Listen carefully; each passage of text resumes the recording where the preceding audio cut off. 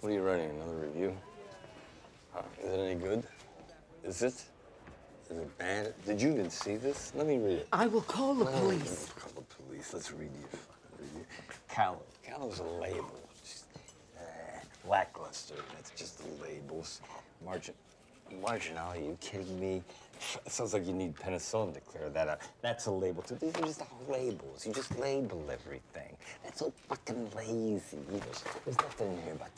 There's nothing in here about structure. Nothing in here about intention. It's just a bunch of crappy opinions backed up by even crappier comparisons, right?